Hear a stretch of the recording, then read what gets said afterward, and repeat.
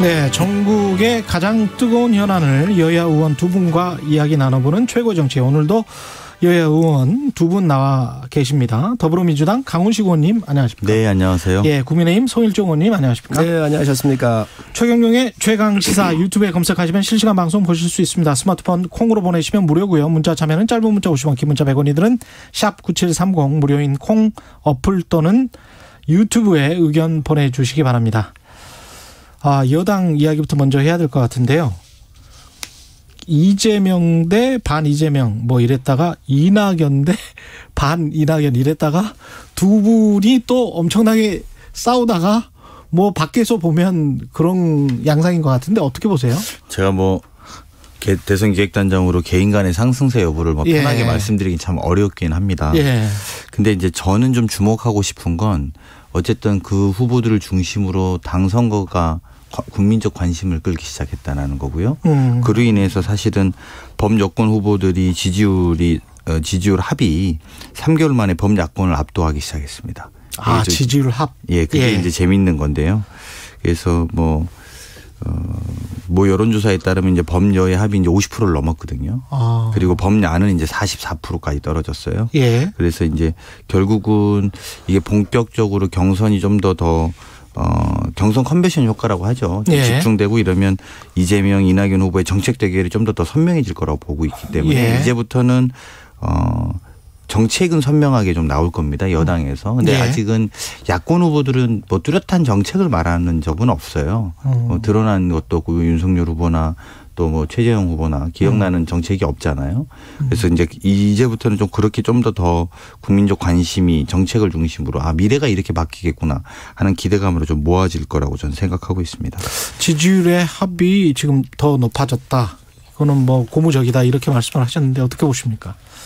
지금 이제 주도 경선 주도를 하고 있는 건 여당이지요. 예. 어, 그런데 지금 이게 그러면 계속 이 상태로 갈 것인가? 음. 이건 한번 지켜봐야 될 필요가 있을 것 같아요. 음. 지금 이 관심이 뭐냐면 네가티브를 통해서 지금 현재 지지율들이 상당히 와- 오고 가고 있는 거거든요. 예.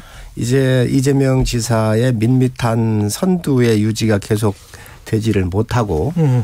어, 이 이낙연 후보 쪽에서의 아주 강한 그러한 여러 가지 이재명 지사의 취약점이 있잖아요. 쌍용과 애인 문제 아닙니까? 이제 이런 부분들이 이제 부- 이제 불거지고 공격을 하면서 이게 예. 흥미를 끌기 시작을 했는데 그것들이 네가티브가 중심이 돼서 이제 그 붐이 좀 일고 있는 거거든요. 음.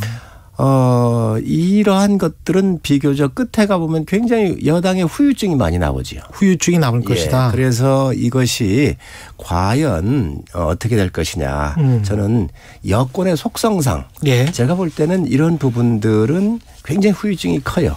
옛날에 친박에 비박에 싸웠었고 또 진박의 간별사들을 또 이게 나왔었고요. 그런 음. 여러 가지 경험치로 봤을 때 지금 여당도 어, 흥행을 일단 성공하는 건 맞습니다. 그렇지만 이게 네가티브가 굉장히 강화가 되면서 음. 앞으로 여당 발 어떤 이 정치적 환경이 만들어질지 모르지요. 그런데 네. 야당은 저런 바람이 있으신 건데요. 예, 저희 저희는 바람일 두- 뿐이다. 바람이죠. 왜냐하면 네. 이게 어, 뭐 네거티브든 뭐든 간에 없었던 이야기가 나오는 게 아니에요. 이 네. 후보들이 공통점들이 다 지난번에 출마를 해본 사람입니다. 뭐 예.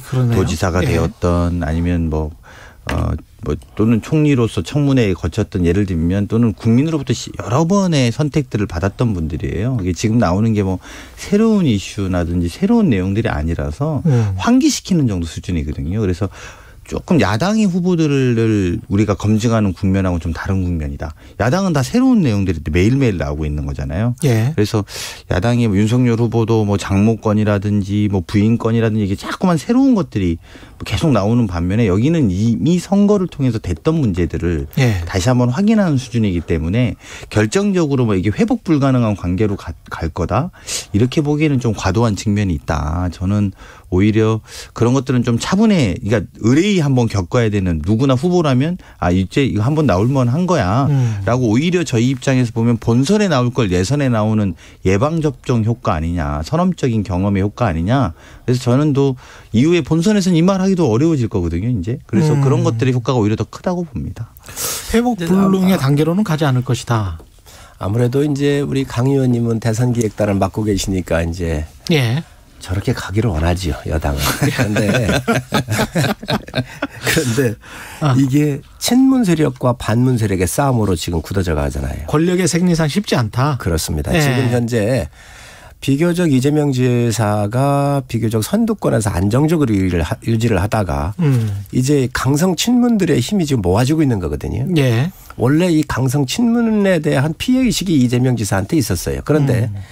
이 친문 세력들이 비교적 힘을 못 썼는데 이게 이낙연 지사 중심으로 좀 모여지잖아요. 예. 모여지면서 힘이 생기니까 이낙연 지사에 대한 공격력이 강화가 되는 것이죠. 음. 그래서 이 친문과 비- 강성 친문과 비문과의 싸움이기 때문에 이거는 굉장히 심각한 내전으로 갈 수밖에 없어요. 그래서 이러한 이러한 부분에서 봤었을 때 음. 지금 여권에서의 이 대권을 향한 주자의 선정에 있어서 어떤 상황으로 변질될지 모릅니다. 그거는 어, 여권의 속성이 그렇습니다. 지금 야권인 저희도 옛날에 그런 경험을 했었고 예. 지금 여당도 또 겪고 있는 거기 때문에 야권의 이 주자의 선정보다는 여권의 주자가 비교적 그 안에 너무도 많은 변수에 의해서 이 영향을 받죠. 그래서 이런 부분들이 어떻게 변할지 모른다. 그게 상당히 저 흥미롭게 지켜보고 있습니다. 네. 뭐 흥미를 가져주셔서 감사하고. 그게 이제 조금 다른 건 예. 지금 방금 표현에 이제 친문 반문 네. 이게 이게 없어진 거예요. 이게 음. 왜 그러냐면 대통령의 지지율이 40%를 넘고 있어요. 예. 그래서 여기서 반문한다는 거는 이 여당 내에서의 지지율을 사실상 포기하고 가야 되는 상황입니다. 자해행위네요. 그렇죠. 예. 그렇죠. 왜냐하면 국민으로부터 음. 40%의 지지율을 받고 있는 지금 대통령인데 여당에서는 훨씬 지지율이 높을 거 아닙니까? 그렇겠습니다. 그래서 예. 친문 반문의 구도로 이 문제를 해석하면 제가 볼 때는 어, 제가 오히려 더그 해석이 제대로 안 될 수밖에 없다. 음. 그러니까 즉 이번 대선의 특징이기도 하죠. 우리 당 여당의 경선의 특징이 보통은 어, 정권 말의 대통령과 차별화 전략 또는 심지어는 손절까지도 했던 거 아닙니까? 대통령을 예. 탈당해라 뭐 이런 것들이 어, 차기 대통령 주자의 중요한 구호였다면 음. 지금 그런 이야기가 일치 없습니다. 오히려 서로 나서서 대통령을 엄호하고 보호하는 음. 그래야지만 본인이 이 경선 과정에 힘을 얻을 수 있거든요. 네. 그래서 대통령 지지율이 더뭐 뭐 이례적으로 너무 높기 때문에 그래서 저는 국- 물론 이제 국민들은 대통령을 중심으로 코로나를 잘 돌파하고 음. 이것들을 좀 잘 이겨나가자라는 취지에서 지지율을 보여주는 것도 있습니다만 예. 그럼에도 불구하고 여당 내부에서 뭐 예를 들면 친문 반문의 구도 또는 뭐 친문 비문의 구도 이런 구도 자체가 형성이 안 된다. 오히려 여당 내에는 현 정부의 잘한 것은 무엇, 못한 것은 무엇. 그러면 못한 것은 어떻게 극복하겠느냐의 경쟁으로 갈 가능성이 높다. 그래서 조금 해석은 좀 달리 보는 게 전 옳은 것 아 닌가 이런 그 생각이 듭니다. 대통령 대통령의 예. 지지율이 있기 때문에 예. 대통령을 비난은 못하지요. 그러나 그 안에 있는 친문 전선과 반문 정선, 특히 친문 정서, 친문의 정서를 갖고 있는 사람들이 권력을 다시 만들어야 되겠다. 놓을 수 없다라고는 아주 절박함이 있거든요. 그런데 이분들이 예. 비교적 마이너였단 말이지요. 음. 마이너였단 말이죠. 물론 전에는 상당히 아주 1등 주자였다가 마이너로 추락을 했다가 지금 다시 올라오는 와중인데 음. 이거에 대한 견제가 있, 있지 않을 수가 없어요. 그게 권력의 속성상. 그렇기 때문에 지금은 현재 코로나가 지금 현재 4차 대유행을 하고 있기 때문에 국민들께서 이 극복을 하고 해서 대통령이 지지를 몰아주는 건 맞습니다. 음. 그러나 이것들이 언제까지 갈 수, 갈 것인가 우리가 한번 지켜봐야 될 문제고요. 적통 논란 같은 경우도 지금 비슷한 맥락에서 나오는 겁니까 혹시? 그렇습니다. 뭐 그렇게 봐야죠. 누, 내가 내가 소위 말하는 적자다 민주당에 예. 이런 이야기는 어, 큰 틀에서 보면 지지자들에게 문재인 정부 또는 그 이전에 우리 민주정부들 김대중, 노무현, 음. 네. 문재인으로 예를 들면 민주정부 사기라고 표현하는데 예. 당내에서 그런 정부를 이어나갈 수 있는 것을 내가 더 잘할 수 있다라고 이제 쟁점들을 만들어내려고 하고 있는 거예요. 그래서 네. 나는 더 적통이고 저쪽은 적통이 아니다라는 식의 쟁점을 만들고는 있습니다만 그런 논쟁들도 그 안에 있다 이렇게 보면 돼. 이제 핵심은 뭐 어쨌든 더 어디가 더 다양성을 보장해주고 열린 마음을 갖고 있고 또 깨어 있는 의식이 누군자 이게 음. 이제 우리 당원들의 관심사고요. 그런 것들이 민주당의 가치다 이렇게 보는 토론들이 더 이어질 거라고 기대하고 있습니다. 아니 그런 적통- 게 가치라면 뭐 적통이라는 단어는 좀 약간 좀 너무 고색창연하지 않나요? 그러면 네. 이, 이 적통을 쓴다는 것 자체가 불리하다는 것이지요. 예. 그렇지 않습니까? 지금 자기가 선두에 음. 완벽한 1위로서의 등극을 하고 있다고 한다면 적통을 굳이 이야기하겠어요. 예, 뭐로 얘기를 하겠어요? 1등은 지금 현재 비문에 이낙연 저, 저 이재명 지사가 1등을 하고 있잖아요. 음. 그러다가 보니까 지금 현재 이 친문들이 거기에 적통농제 적통농제 논쟁을 지금 부- 불붙고 있는 것이죠. 이 예. 적통이라고 하는 게 참 그 아주 원시적인 이야기죠. 예. 지금 자식이거든요. 예, 권력은. 예. 자기 능력으로 하는 거예요. 음. 그리고 새로운 권력의 탄생은 본인의 목들이에요. 음. 그런데 얼마나 부족하면 내가 누구누구한테 지금 대통령 지지율이 높으니까 내가 누구의 적자라고 얘기한다는 것 자체가 이게 원시적인 겁니다. 그렇기 때문에 아마 지금 이 적통 논쟁까지 붙는 걸 봐서 그만큼 치열한 여권의 지금 현재 상황을 말해주고 있다고 말씀드립니다. 강호님. 예. 아니 뭐 저는 저렇게 우리 당의 적ton 논쟁에 우리 야당 의원님이 관심이 있는지 몰랐습니다만 예. 노- 갑자기 노회찬 의원님이 생각나면서 예. 외계인이 침략하면 일본하고도 손잡는다는데 아. 그, 그 저렇게까지 야당에서 야박하게 말씀하시니 우리 당은 똘똘 뭉치겠다는 생각은 듭니다. 너무 걱정 안 하셔도 됩니다. 예. 경선은 지금 연기는 거의 확실한 것 같고요. 네, 오늘 예. 오전에 예. 오늘 오전에 그 최고위원회에서 논의하고 아마 당무위원회 에 올려서 결정할 것 같고요. 시기까지 결정이 됩니까? 그 경선 연기를 일정까지? 얼마나 할 것인지 예. 그 시기가 쟁점이겠죠 아무래도. 예. 어느 정도로 예상하세요? 그건 제가 말씀하기가 좀 쉽지 않을 것 같고 예. 그 다만 이제 현재 코로나 상에 따른 위급성 시급성에 대한 판단이니까요. 예. 그래서 이게 물론 뭐 연기한다고 또 나아진다는 보장이 또 없어요. 음. 또 그래서 또 그, 그런 것들도 고민일 거고요. 하지만 또 연기 이 입장을 안 가지면 또 국민들 눈에는 지금 우리는 다 코로나로 저녁도 둘 이상 못 먹게 하면서 어떻게 당신들은 선거를 계속 하느냐 예. 이런 것들에 대한 국민적 눈높이들도 우리가 맞고요. 고려해야 되니까 예. 아마 오전에 있을 최고위원회에서 결정할 거라고 봅니다. 음. 저는 이것도 민주당이 말이죠. 국민들한테 반성부터 해야 한다고 생각을 해요. 사죄부터. 왜 그러냐면 집값을 다 올려놔 가지고 2030, 40들 말이죠. 꿈을 다 짓밟아 버렸어요. 음. 집 하나 사는 게 이제 아주 뭐 요만해졌잖아요. 예. 자, 그런데 이제는 백신을 제때 구하지 못해서 지금 현재 이 경선까지 연기를 하게 되잖아요. 그러면 백신은 어떻게 했어요? CEO, 모더나 CEO하고 대통령께서 통화해서 2, 4분기 다 들어온다 그랬거든요. 그래서 이러한 상황이 왔기 때문에 경선 연기하면서 저는 국민들한테 이 스케줄대로 하지 못한 거에 대한 양해부터 구해야 음. 경선 연기하는 것도 전 명분이 있다라고 생각을 해요. 한 13분 정도 지났기 때문에 야권으로 넘어가는 것이 시간상 맞을 것 같습니다. 이제 공격을 받을 시간이 된 예, 거죠. 지금 저 윤석열 전 총장 같은 경우는 전반적으로 지지율이 하락세라는 거는 뭐 전문가들 의견이 비슷한 것 같고요.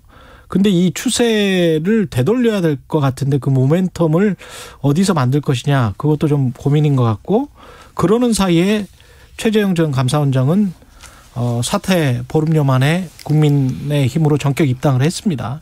이 판세가 이렇게 되면은 요동칠 것 같기도 하고요. 사람들 마음도 그렇고 어떻게 보십니까? 음, 저는 요동친다고 봅니다. 음, 정치인한테 제가 늘 말씀드렸지만 정치인한테 가장 중요한 게 정당이에요. 네, 이 정당을 자기가 꿈을 트- 꿈을 이루어질 수 있는 이 집이 없이는 어떤 것도 할 수가 없잖아요. 그런데 어 지금 이렇게 봤었을 때 높은 지지율을 가지고 있는 윤 총장은 좀 천천히 들어오려고 하는 그런 생각을 가지고 있고 또 최재형 전 원장 같은 경우는 전격적으로 들어와서 예, 어 이제 경선에 어 아주 그 스타트 라인에 섰단 말이죠. 이제 불을 붙기 시작을 했는데 그 결단을 한 면에서는 최재형 원장이 상당히 잘했다라고 판단합니다. 음, 이제 그래도 더 이상 이제 밖에 있는 윤석열 총장을 막느라고 힘을 좀들 쓰시겠다. 이좀 손절하고 이제 최재형 후보의 힘 약간 막는데 손절의 분위기가 있는 예, 것 손절 같아요. 분위기가 확 느껴지는 확, 예, 멘트인데요. 확 이제 또안 멘트인데. 들어온 예. 사람은 우리가 챙기지 않겠다라는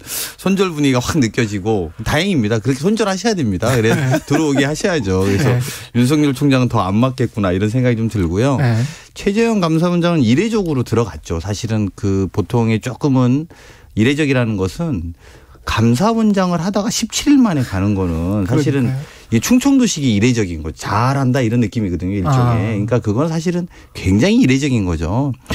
우리가 헌법으로 보장 임기를 보장하고 있는 몇 개 안 되는 직위가 있습니다. 음, 그게 대통령 이게 이제 임기 5년을 헌법에 보장하고 있고 대법관과 헌법재판관이 6년으로 헌법에 보장돼 있습니다. 예. 그리고 감사원장이 4년으로 헌법에 보장돼 있습니다. 검찰총장은 임기가 보장돼 있긴데 돼 있긴 한데 이게 검찰청법상에 보장돼 있는 거예요. 이게 음. 그렇게 무게 있게 보지는 않는 거예요. 예. 이게 헌법을 임기를 보장해 준 건 그만큼 이제 본인의 위치와 또 국민들의 염원이 그 역할을 준 것이거든요. 이거를 깨고 나간 지 17일 만에 야당의 전격 입- 입당했다.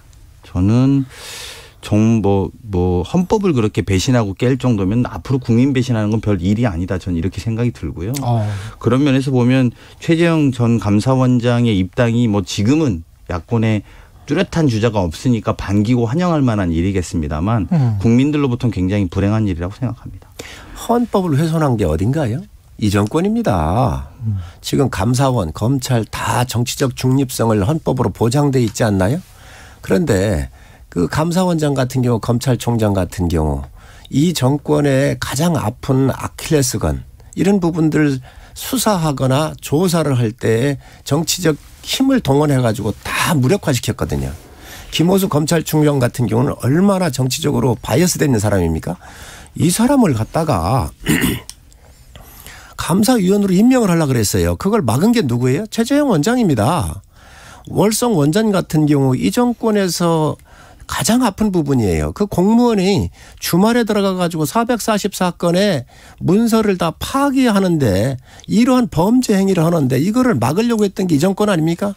울산 부정 사건에서부터 라임 옵티머스 사건 사건 같은 경우 이 정권의 부정과 비리를 다 파헤쳤었던 게 윤석열 총장이거든요. 그래서 살아있는 권력도 수사하라고 대통령께서 지침을 줬었던 사람이에요. 정권이에요. 그런데 그러한 총장에 대해서 내쫓으려고 얼마나 노력을 했습니까? 민주당 정권이 얼마나 했습니까? 추미애 장관이 얼마나 했습니까? 자, 이 정치적 중립성, 헌법을 다 훼손해 놓고 이거를 지키려고 하다 하다가 안 되니까 이 나라가 망가진 거거든요. 그러다가 보니 아, 이 나라가 안 되겠다. 나라도 나서서 국민한테 알리고 이 제도로서 정치에 들어가 가지고 이러한 것들 바로 잡아야 되겠다라고 나온 사람들이에요. 물론 감사원장 또 검찰총장을 하면서 나오는 선례가 좋은 선례는 아니지만 이런 분들이 나올 수밖에 없도록 만들었던 것은 이 정권이다.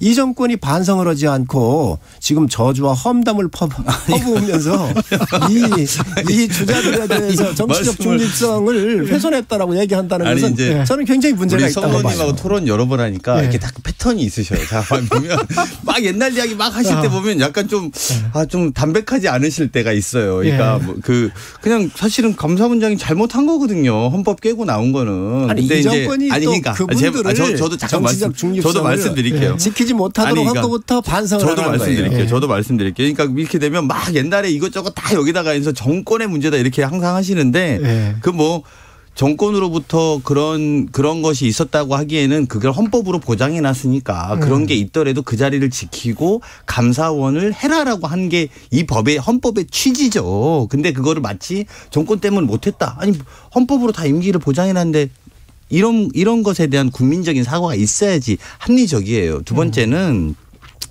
이분이 이분이 이 대통령직을 나오려고 17일 만에 입당했으면 언제 정도부터 마음이 결심을 했을까요?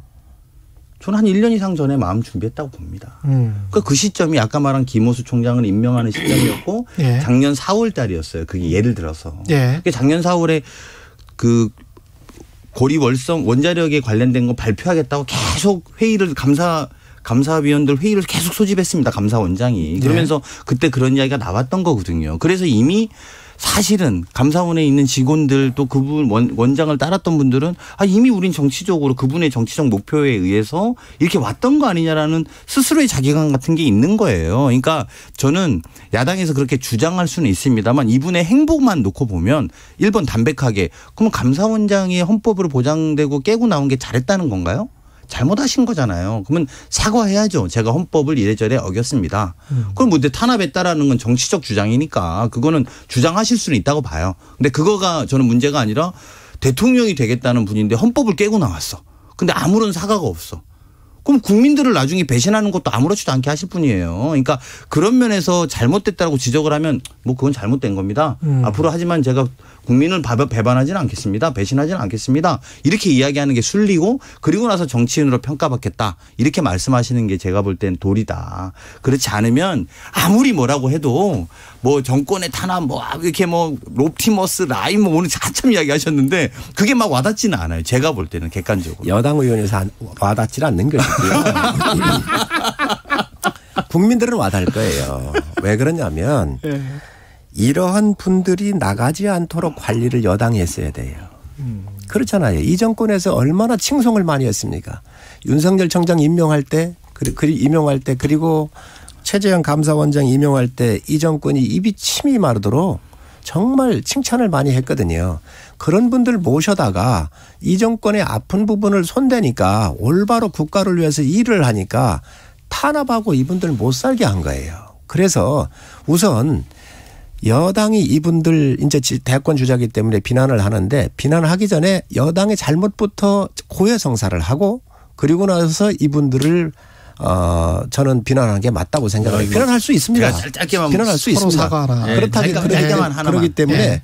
여당 자체가 먼저 잘못했었던 과- 이 정권의 그저 잘못된 부분부터 반성을 하고 저는 비난을 이제 하십시오. 조금 있으면 최재형 감사원장이 국민의힘 내부에서 대선 주자끼리 견제 목소리 나올 거예요. 예. 그럼 이제 또 탈당하셔야죠. 그런 견제도 못 받아들이실 거예요. 저런 논리로라면 아. 그 내부에서도 비판하는 목소리가 정치적인 건 훨씬 더 강할 거예요. 음. 그러니까 저는 그 예를 들면 홍준표 대표님이나 이런 분들 가만히 안 있을 겁니다. 저희 지지율이 그냥 넘어가게 가만히 두지 않을 텐데 음. 이제 그때 뭐라고 하는지 이제 보자고요. 제가 볼 때 그 그런 상황들이 돼도 탈당 안 하시 탈당하시면은 이제 할 말이 별로 없게 되겠죠. 전 지켜봐야 돼. 지켜 한번 보시면서 이야기하면 될 거라고 또 여당의 바람이 인 거지. 근데 야당의 바람도 있고. 또 다른 인물이 있는데 김종인 전 비대위원장이 최재형 전 원장은 뭐 막연하고 윤석열 전 총장은 비전이 없다. 어, 둘 다 박하게 평가를 하면서 그러나 김동연 전 경제부총리는 게임 체인저가 될 수 있다. 판을 바꿀 수도 있다. 이건 뭘까요? 김동연 전 부총리는 야권 인사일까요? 야권에서 대통령 선거에 나온다는 이야기일까요? 이게 무슨 이야기일까요? 우리 네. 어전 비대위원장이신 김종인 비대위원장님은 이제 돌아가면서 칭찬하시고 돌아가시면서 한 단계씩 이렇게 조금 조정을 하시는 것 같아요. 네. 예, 그렇기 때문에 그 정치적인 수를 저희가 알아볼 수는 없지만 음. 일단 큰 틀에서 보면 야권판 전체를 놓고 여러 후보들을 이렇게 저울질을 하면서 큰 아. 그림을 그리시는 거 아닌가 저는 예. 그리 보고 있습니다. 또 윤석열 총장 같은 경우는 입당하지 말고 외부에 좀 있었으면 좋겠다 이런 말씀을 하셨거든요. 저는 뭐 그것도 그렇게 나쁘지 않다고 생각을 해요. 단 윤석열 총장이 일정한 지지율을 유지하고 있다고 한다면 예.